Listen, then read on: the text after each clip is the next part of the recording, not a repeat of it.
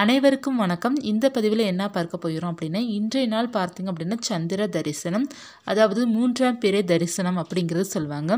இந்த மூன்றாம் பிறை தரிசனம் யாரெல்லாம் தரிசிக்கிறாங்களோ அவங்களுக்கெல்லாம் பார்த்திங்க அப்படின்னா முகம் அழகாகவும் வசீகரத்தன்மை ஏற்படும் பணம் செல்வாக்கு அதிகரிக்கும் சிவபெருமனுடைய அனுகிரகம் முழுவதும் நமக்கு கிடைக்கும்.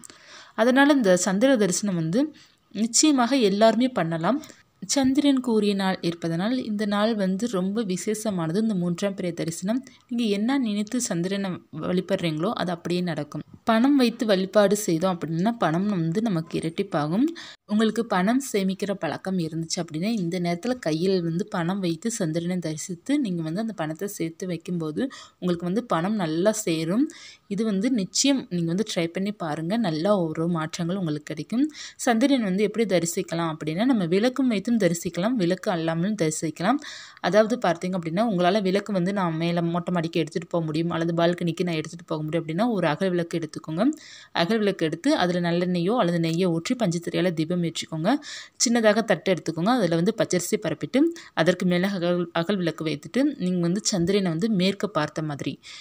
நம்ம நிற்கணும் அதாவது நம்ம வந்து மேற்க பார்த்த மாதிரி நிற்கணும் நின்று சந்திரனை வந்து மூன்று முறை நீங்கள் சுற்றி கொண்டு ஓம் சந்திர மேலோஸ்வராய நமக்கு அப்படிங்கிறத சொல்லலாம். இல்லைன்னா ஓம் சந்திர பகவானே நமக்கு அப்படிங்கிறத ஒரு மூன்று முறையாக சொல்லிவிட்டு நீங்கள் வந்து கையில் பணம் வச்சுக்கோங்க. ஒரு நூறுரூபாவோ அல்லது நூற்றி ஒரு ரூபா கூட வைத்துக்கொள்ளலாம் அல்லது எவ்வளோ பணம் இருக்கோ அதை வச்சுக்கோங்க. ஐநூறுரூபா கூட வைத்துக்கொள்ளலாம் வைத்துட்டு பணம் வந் வசி வசி பணம் வந்து பெருக வேண்டும் அப்படிங்கிறத நீங்கள் நினச்சி வழிபாடு செய்துட்டு உங்களுக்கு என்ன வேண்டுதல் இருக்கோ அதை சொல்லி வழிபாடு செய்யுங்க. அதாவது பணம் நல்லா பெருகணும் அப்படின்னு எனக்கு நல்லா பணம் பெருக வேண்டும் அப்படிங்கிறத நினச்சி வழிபாடு செய்யுங்க.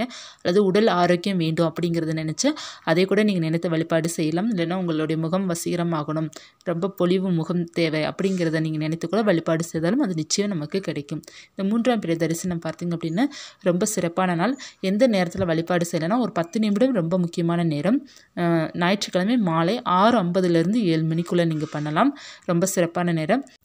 சந்திரன் வந்து ஒரு ஆறு முப்பதுக்கு வந்துடுவாங்க நீங்கள் ஆறு முப்பதுலேருந்து ஏழு முப்பதுக்குள்ளே தாராளமாக வழிபாடு செய்து கொள்ளலாம். ஏன்னா இரவு ஃபுல்லாக சந்திரன் நேரம் தான் இந்த குறிப்பிட்ட நேரம் பார்த்திங்க அப்படின்னா ஆறு ஐம்பதுலேருந்து ஏழு மணிக்குள்ளே. இன்று மாலை அதாவது ஞாயிற்றுக்கிழமை இன்றைக்கு தான் இன்று மாலை ஆறு ஐம்பது டு ஏழு. விளக்கு இல்லாமல் எப்படி நீங்கள் வழிபாடு செய்யலாம் அப்படின்னா ஒரு கைப்பிடி பச்சரிசி எடுத்துக்கோங்க. எடுத்துகிட்டு உங்களுடைய பணம் எவ்வளோ பணம் இருக்கோ அந்த பணத்தை வந்து நீங்கள் உள்ளாங்கைக்குள்ளே வச்சுக்கோங்க. தங்கம் வேண்டும் அப்படின்னா நீங்கள் நகை கூட கையில் வச்சுக்கலாம்.